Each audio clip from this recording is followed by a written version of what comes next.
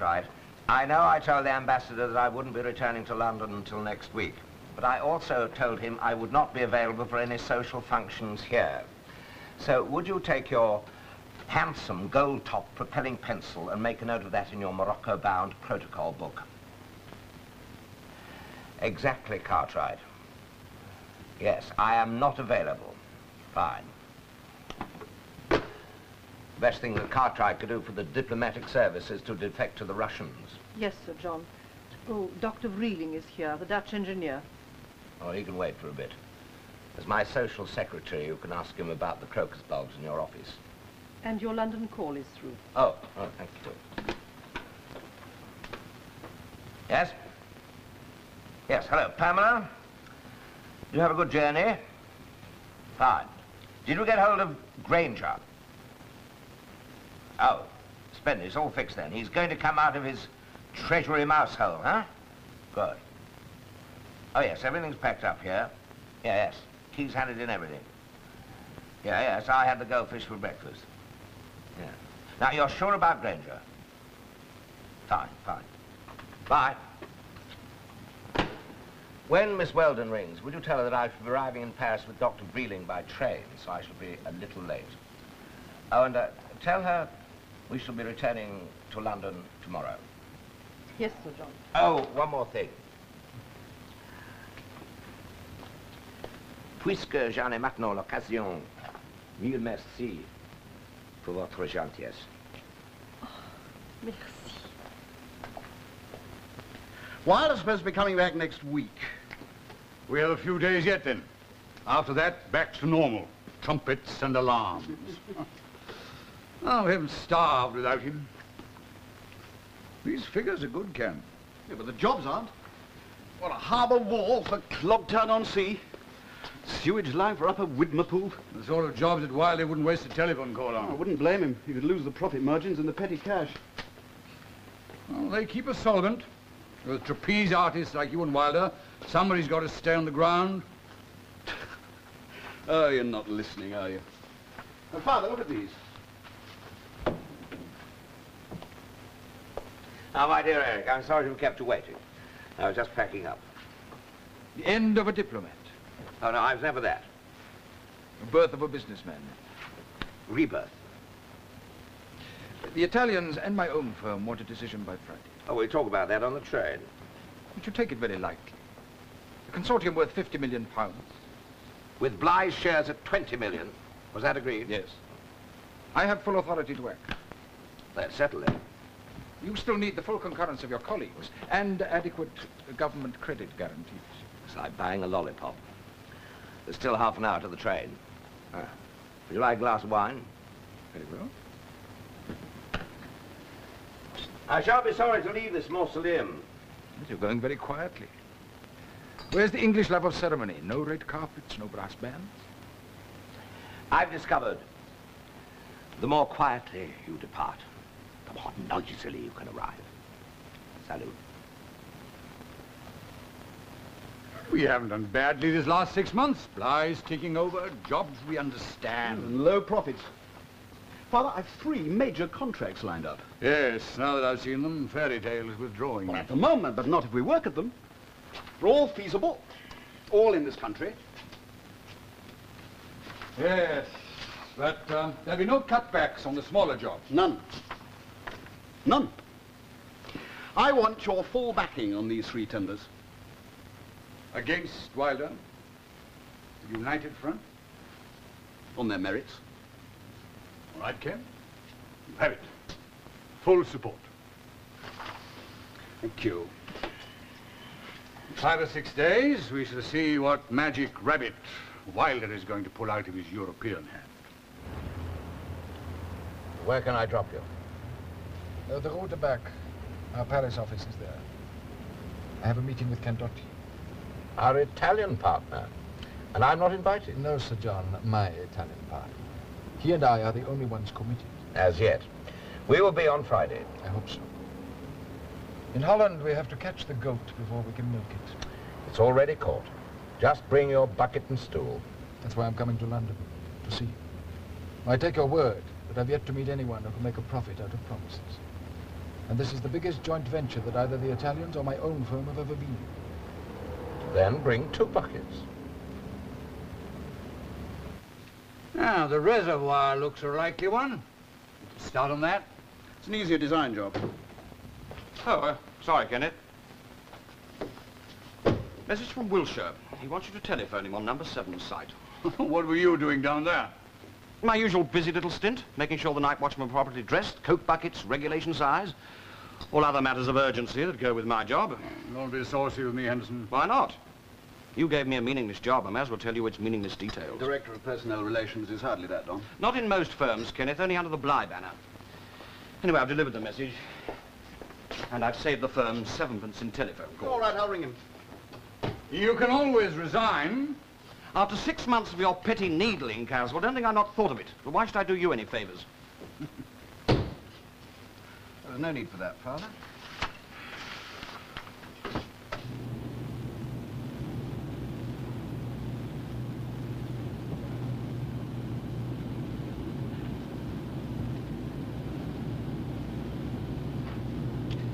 By the way, nobody knows that either Vreeling or myself are in London. Yes, Sir John. I shall apply my usual civil servant's discretion. I've enjoyed these trips. Thank you. I don't take that as a compliment to your position as British industry's leading boudoir entertainer. It isn't. Well, don't tell me it's because you're improving your French. Since you've been away, I've been fairly happy. Working hard at a job I like and being good at it. And then whenever I felt bored, being whisked off to Paris like an old-time Gaiety girl. It's about time it ended, though. I nearly didn't make this trip. Why? Well, we're very busy at the export port. There's lots happening. Oh. Important? Not that way, not to you. But it is my job. It's important to me.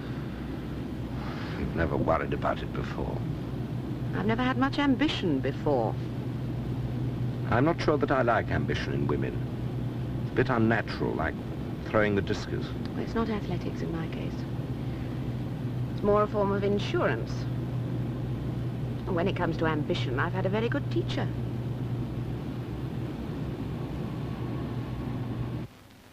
Just to say that, um, I'm sorry about yesterday, Don. Father gets... Oh, well, you know how he is. Yes, I know how he is. Jack Boot Bligh, one of nature's bullies. I said I'm sorry. About six months too late. You'd be surprised how little it matters. Oh, the hell with him, Kenneth. And the hell with you, too. Anything else? No, no, that was about all. Oh, there is one thing. I thought there might be.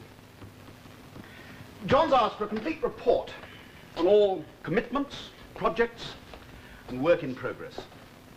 Big job. Yes, it'll take a month to get together. So you can't have it. No, I'm afraid not. Hmm. Well, he'll just have to make do with mine, then. What do you mean yours? You know, one of the advantages of being shunted into a harmless cipher job like mine, Kenneth, is that people chat to you. Good old Don, he's harmless. We can talk to him. Six months of it. Listening, ambling around, asking damn fool questions. A free education, Kenneth. Especially to a man with my lethargic, inquiring mind. Before, shunting backwards and forwards for John, I didn't know much about this firm. By God, I do now.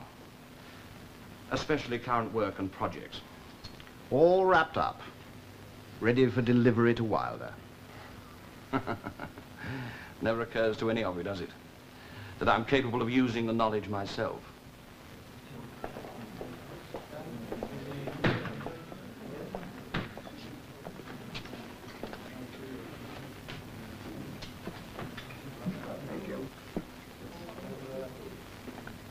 You look careworn, Don. I get used to it. You should see my collection of slings and arrows. When's John coming back? Oh, he was deliberately very, very vague. About four or five days, I should think. I'm a sort of harbinger, a herald to remove the dust sheets. The first swallow. Amen. He seemed to think you'd have some sort of business report for him. Yeah, well, it's, it's not quite ready, yet. Meaning you'd rather deliver it yourself. Mm. That's the guts of it, as my friend Caswell Bligh would say. Steely-eyed, puffing on his pipe. Caswell's not so bad, really. Bad? Just a throwback to the Bligh, they pitched off the bounty. Quite a creditable voyage, Mr. Christian. Only ten men down with scurvy. Bravo. Hello, Pamela. Hello. You must be one of the mutineers. Not yet. But keep your eyes peeled during the dog watch. Don, this is Charles Granger, an old friend of mine. Charles, this is Don Henderson. Oh, how do you? Charles is in the Treasury. Oh, well, I better be going then. I owe some taxes. No, do stay. Have a drink. Uh, no, thank you. I've uh, delivered Pamela, and I really must go. That's one of John's business associates. I worry about him. Yes, obviously. How's the Treasury? Active.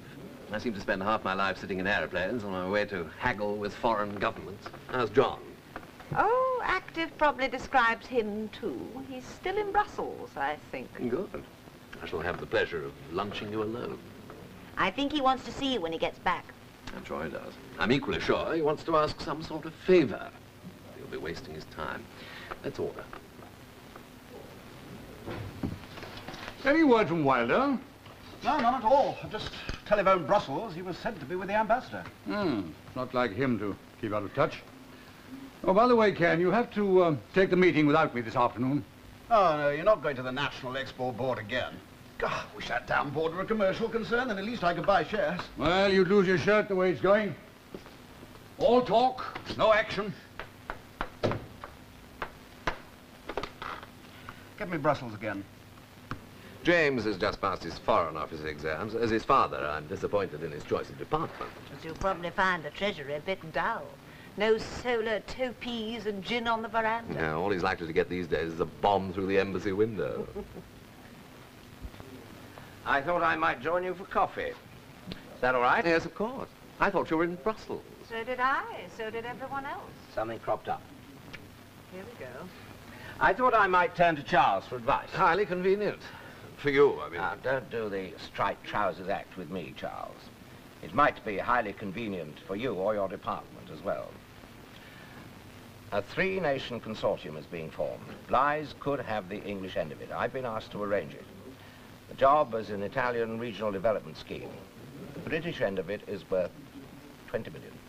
And without the flummery, you want to know your chances of government credit.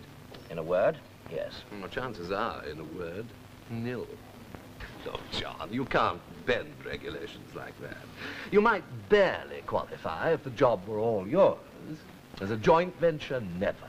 Put away the absolutes and just listen for a moment. Couldn't we order brandy first? First, the British end is a majority share. We specify all plant and materials which would be British. Mm, slight export advantage there. It's not my department. Oh, don't be so parochial. You're in favor of the common market. Now's your chance to prove it. Well, add a slight political advantage, but it's impossible, John. Really. If the British don't get the majority share, it'll either go to East Germany or Israel. And we know which two spheres of influence they come under. Mm, the advantage is a little bigger. You said Italy. How much is the whole job worth? 50 million. The Italians have a consortium share. Now, big enough to need political backing, and their political backer is Contini. Go on. Play the ace. Your department's investigating investment reform with him. He said you might be willing to help. That sort of approach makes it much more likely I'll squash the whole damn business. I could, you know. That's what I told Contini. He said that he thought you would be shrewd enough to look at the overall advantages first. I wonder if he was right. John's become quite a diplomat. I had my share of pious hot air in Brussels. This transaction's good for the country, and Charles knows it. He only has to step over his dignity. Brandy, please. All right. I'll do what I can. Good. We have until Friday. I saw Caswell Bligh at the NEB yesterday. He didn't mention it. Well, at the moment, he's rather leaving things to me.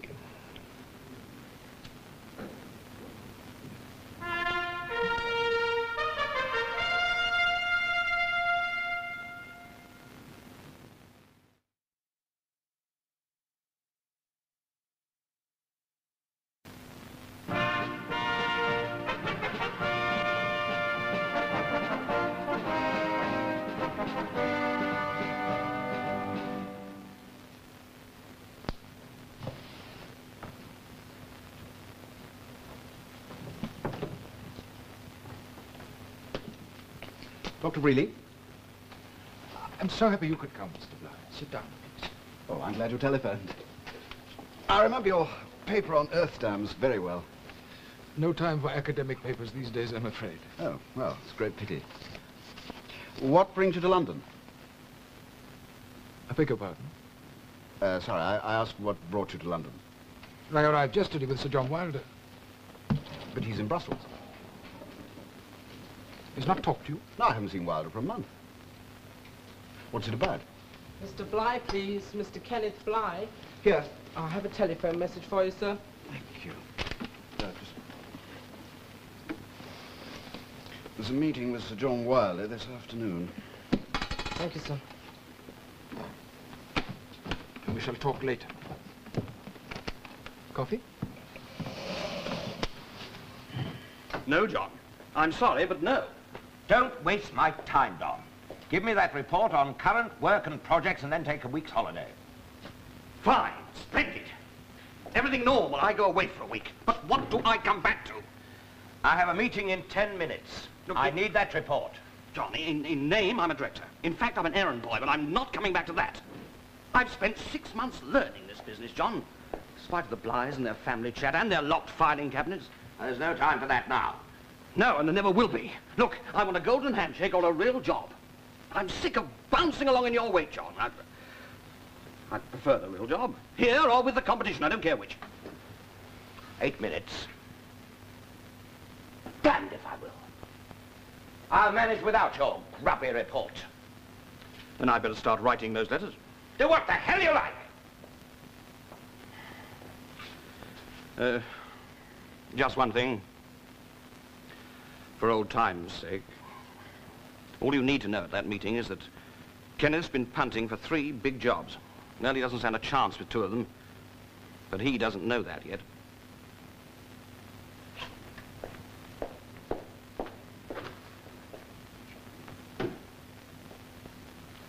Did you get the message to Mr. Kenneth? He'll be here shortly. Uh, there was a call from NEB while you were at lunch. Uh, would you ring Miss Weldon? Oh, no, you do it. It's probably some point of order. Oh, there's Mr. Henderson to see you. He can wait. Hello, Caswell. And the efficient Miss T. Uh, thank you, Miss Tillingshead. That'll be all. No calls. Well, John, you're back early and quietly. Well, put it down to keenness.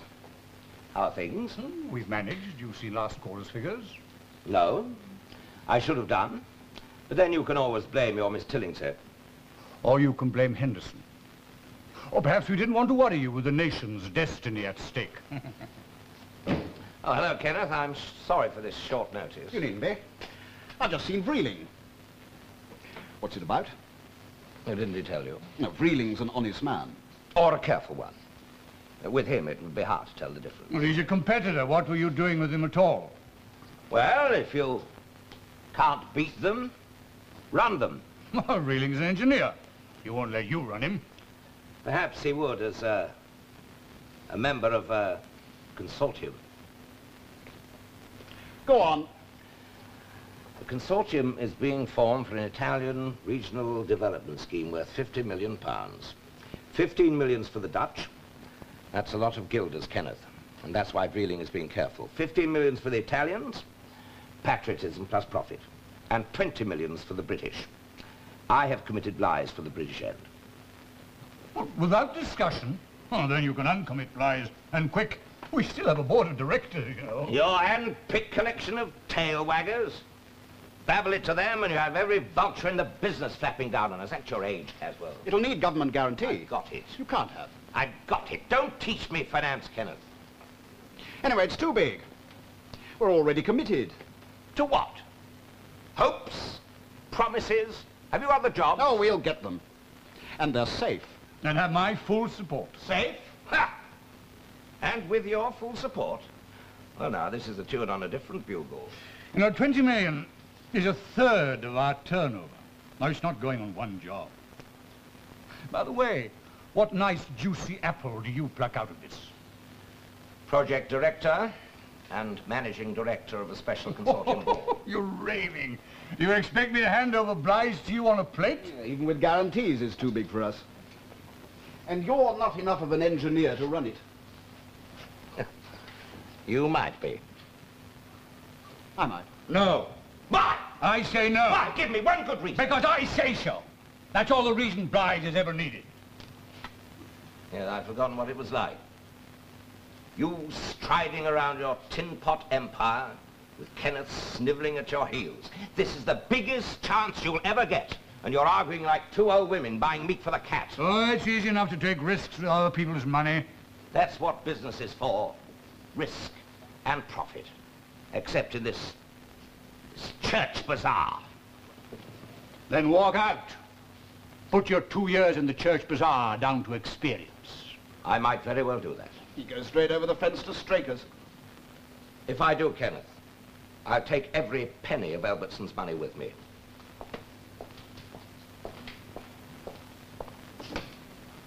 Now, start counting. Hmm. Then he hadn't been so secretive. This consortium might be worth looking at. No. Give over too much control to Wilder. We could modify that. No. On principle. Now, you asked me for my support, and you got it. I'm not asking you for yours. I expect it. Yes.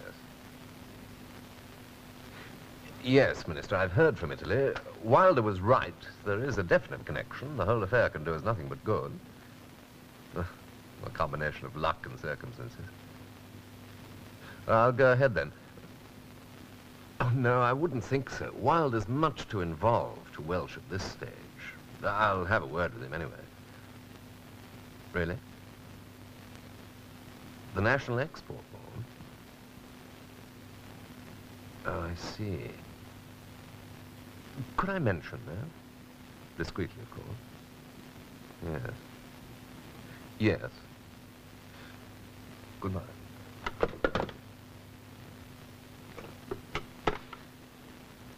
Get me Lady Wilder, please. I'll hold.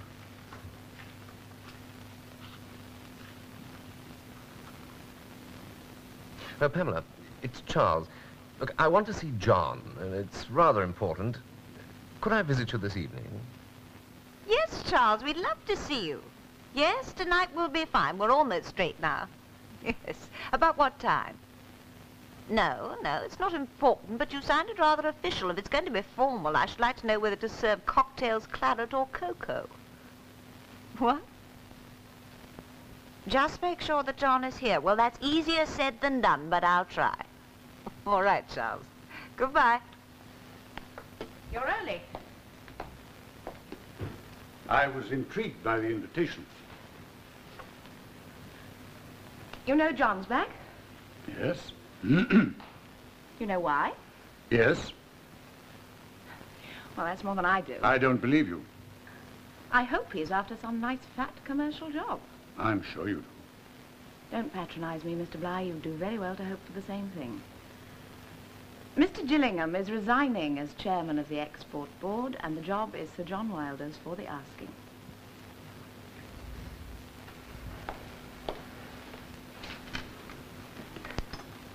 Does Wilder know this? No.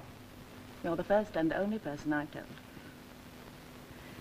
You don't have to trust me. I have perfectly good selfish reasons. I could have had the chairmanship once. Well, you're still second choice. A long way behind John, but he did some brilliant work in Brussels. If Wilder gets the chairmanship, I shall be off the board in three months. And finished politically in six. Back to building roads. Why are you telling me this instead of him? Because if John becomes chairman, I'll be finished too. I'll be forced to transfer.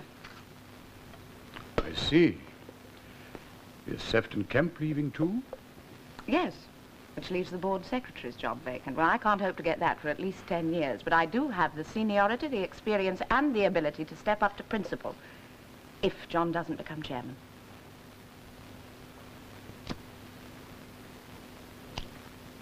We are both after jobs then. Yes. The difference is that mine is the only one I've got. Now, won't you take your coat off and sit down? Thank you. I think I will. You're telling me that Sir John Wilder has not the full concurrence of his colleagues? Ah, I didn't say that exactly. Now, just answer yes or no, please. No, it's not as simple as that. It's under discussion. I must know the result soon. There are lots of snags. Credit guarantees, for instance. Wilder's promised these. Yes, but... I've already spoken to one of your government. He's kept this promise. That's one of the reasons he was invited to join us. He's not an engineer. Ah. But I am. And so is your father. Is this a problem? Hmm, part of it. Then it's a domestic squabble and none of my concern. How firm is the agreement that Wilder should be project director? It's not an agreement. An understanding. We would consider another nominee if that nominee can deliver what Wilder is capable of delivering uh, by Friday. Well, this is quite a state occasion. John telephoned and said he'd be back for dinner. Exotic recipes from Brussels. Oh, none of the staff ever stayed long enough for me to collect any exotic recipes. John manages to terrify the life out of them without them understanding a single word he's saying. I wish someone would invent a really thick-skinned robot. Mm, it'd probably join the Foreign Office. Hello, Charles. Hello, John. Everything all right? Oh, yes. No worries. Good. Well, that's one relief. Oh, here we go again. In my absence, the Blighs have been reviving old-time music hall. Duet for insular engineers. Uh, yes, I must go and hover in the kitchen. Make hostess noises. What's this then? Several developments, John. I'd prefer them to be put to you in private. I'm now fully committed on your consortium stunt. So are two or three very high-level people. The decision's been taken that this scheme is in the country's interest. So, I don't want you welshing on this project, or conniving with it, or using it as a lever. The bluntness is because I'm paying you the compliment of saying that if you did welsh on it, there isn't anyone in this country who could stop you. I'm glad to see that the fine old art of diplomacy is not entirely dead. I take it there are no snags. None that can't be overcome. You're sure of that? The project's under your control. Yes? But not if you become chairman of the National Export Board. An unlikely happening. Uh, I should like it, but it's unlikely. It's not unlikely at all. Gillingham and Sefton Kemp are leaving. The chairman's job will be offered to you. Enough to make you Welsh on the consortium? Well, enough to make me think about it. Don't. Long-term plans call for the National Export Board to be quietly and discreetly absorbed by other bodies. Well, well, well. So the NEB is about to become a dead horse. I didn't say that, John. I meant only that it might be acquired or merged. Its powers might be curtailed rather than expanded. This obviously affects the chairman's job and its prospects. Who do we know who wants to buy a dead horse?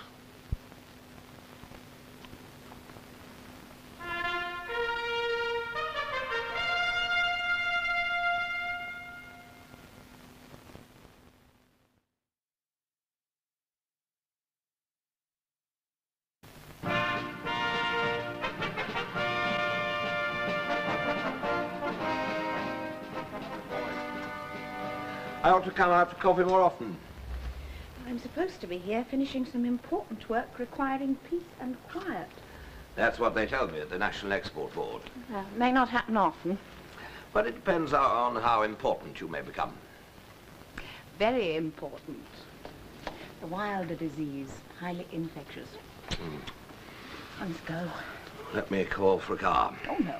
Not likely. I'll take a taxi. One, must, one of us must exercise some discretion. That's a very laudable change of attitude. It's better. Susan, Mm-hmm. you heard about Gillingham's leaving? No. Oh, no, of course not. Why, have you? Well, If you haven't heard, how could I possibly have found out? Wishful thinking, perhaps. I've become used to the pomp of official position. You're lying, John. Isn't everyone?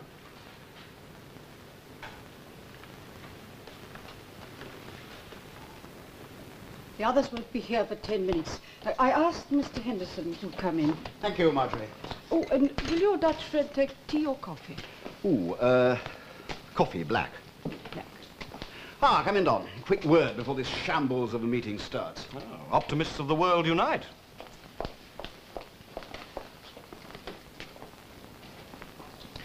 How badly does John want to run this consortium? I'm afraid I've no idea. What would he take in exchange? You must think I'm the first cuckoo in spring. Last week I was the boy counting fire buckets. This week I'm being treated as if a directorship really meant something. Well, there's something you don't know. We've just lost two big jobs. Hmm. A bypass and a reservoir. How do you know?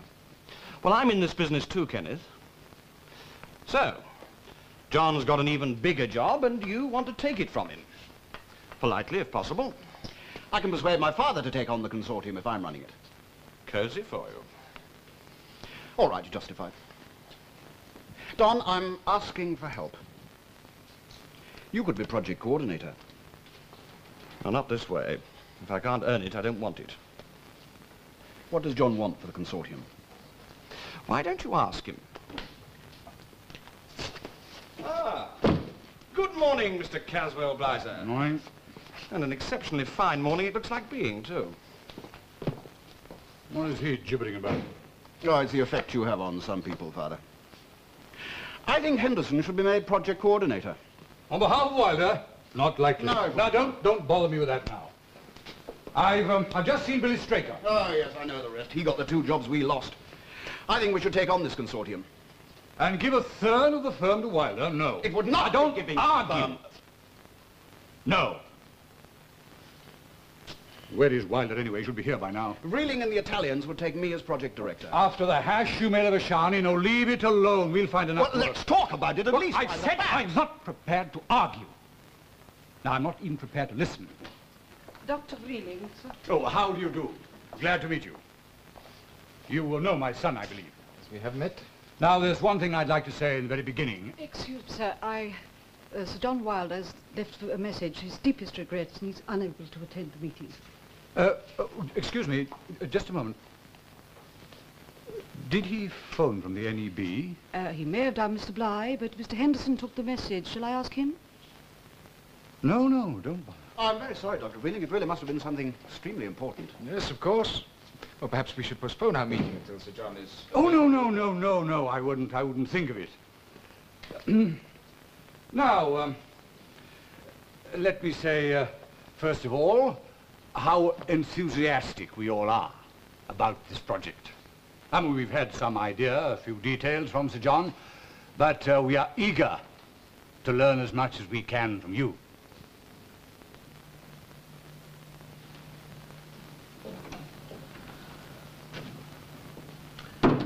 Hello, Don. I thought yesterday you looked in need of an outing. You're developing a twitch. Or a mind of my own. Oh, that's good, too. I thought we'd have a drink, lunch and a round of golf. Make the most of the few fine days. I'm taking life very easily. Everyone else was flapping about the meeting this morning. Kenneth with a face like last winter and a hat full of bride. John, what are you up to? Well, I'm not officially back yet, am I? Well, everybody else is showing a strain.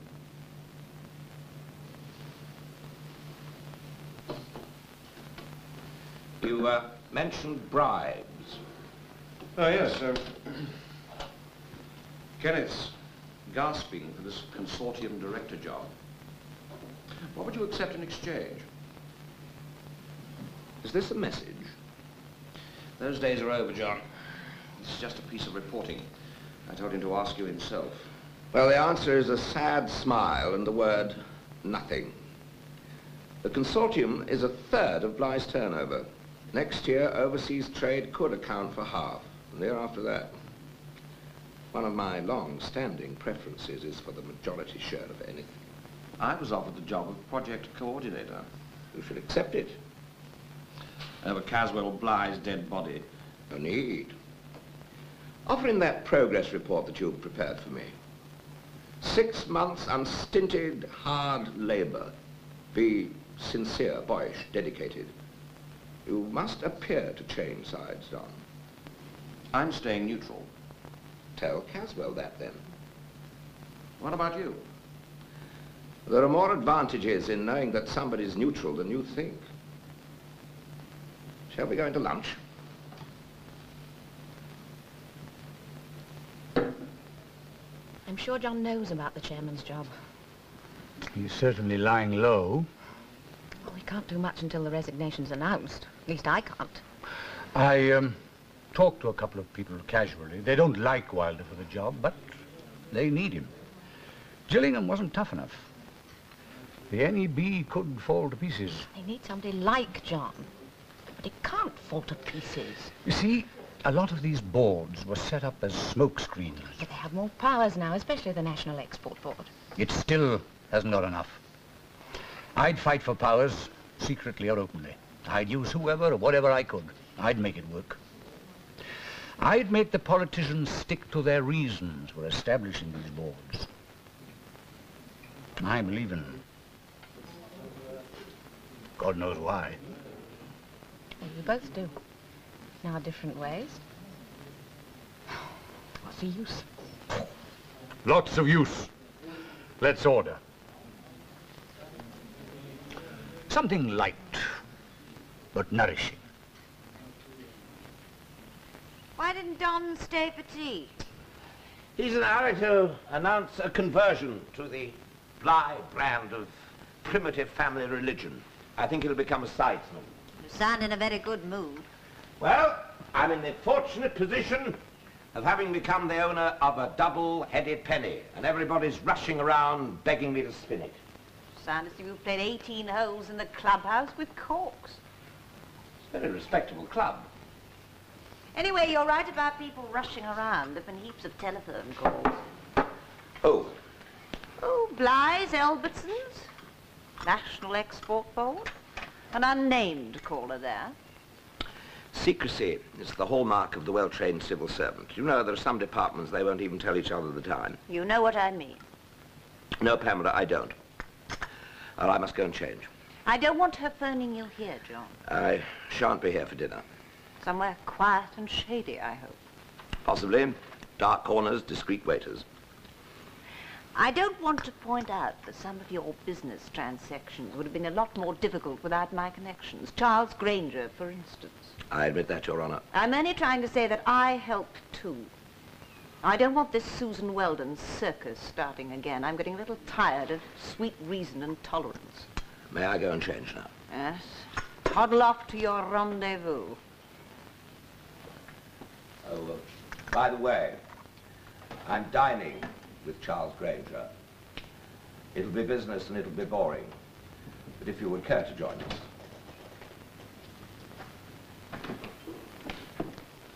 Good morning.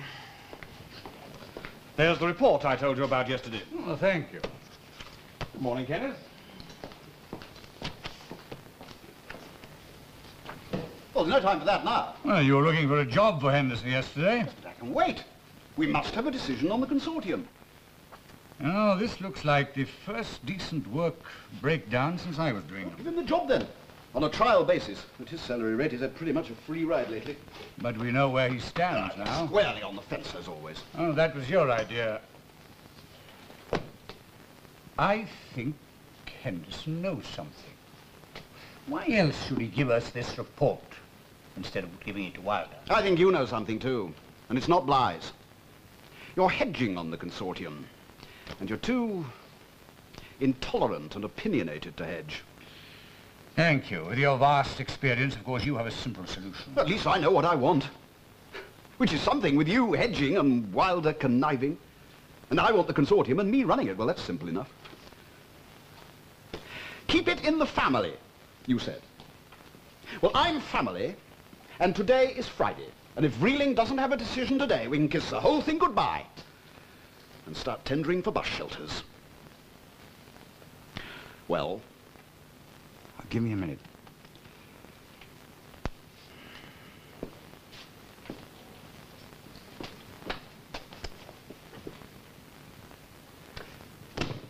All right, Ken. You can have it. I can't really see what you're concerned about, Dr. Vreeling. Yes, everything will go through as we discussed it in Brussels. I shall be consortium project director. I thought that was understood. Hmm. Papers? Well, they'll be signed today. Uh, later on this morning, I should think. That's fine. Well, we'll be in touch. Hmm. Yes? Mr. Charles Granger is holding Sir John on the private line. Thank you. Charles, good morning. I must say I'm very impressed with your sources of information. Hmm. Yeah, I've just left the minister. What? Oh, there, highly affable. Uh, at one stage, I thought he was going to carry me across the threshold. Yes, I was offered the chairmanship. No, no, no. Don't worry. I was suitably non-committal. Great honor and time to think, blah, blah, blah, yes. Yes, I shall turn him down on Monday. Fine. Thank you, Charles. Goodbye.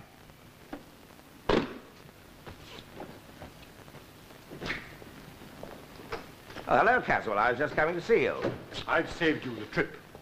Well, uh, I was going to back down. I think I could do it more gracefully in my own office. Ah, this should be interesting.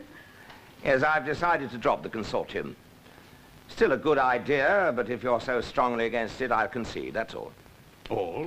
No more? Have you told Vreeling yet? No, no, not without discussion. We are taking on the consortium. Well, that's a change of heart. And I'm going to run it. Which accounts for the change. With respect, Kenneth, you are not in the same political league as our collaborators. Uh, Contini, who's backing the Italians, could eat you for breakfast. And Vreeling, despite all his politeness, could outmaneuver you in his sleep. There's more to it than this, and you know it. The NEB. That is not a fit subject for discussion here. Caswell. Gillingham is leaving. Which is privileged information. You ought to know better than babble it in front of outsiders. Outsiders? In this context, yes. Family ties do not apply everywhere. You do well to remember that. I'll talk about this, Caswell, but not with Kenneth here. You better go, Ken. Divide and conquer. Old but effective. Isn't it? It's true, then.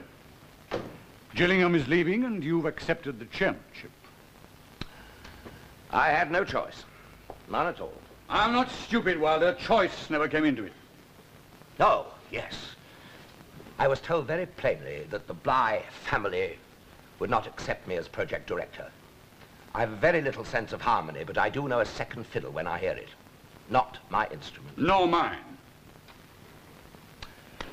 With control of the consortium, plus my present powers, I might have an incentive to stay here, plus perhaps a share option. As it is, If you're making me an offer, spit it out. I've made it. I should want a new contract, of course. Hmm. You'd step down from the other job? Leaving the NEB chairmanship to you. Springboard for political glory. Hmm. You're like a little boy with an ice cream in each hand, Caswell. You don't know which to lick first. What about Kenneth? As your son, that's your problem. As a fellow director, he'll have to accept the majority vote, as I did. Once I'm chairman, I might kick you off the NEB. That would be kicking your own company squarely in the face. Anyway, the NEB might turn out to be a dead horse. Not with me running it. I take it you accept them. I'll have a new contract drawn up. Nothing's free, Caswell.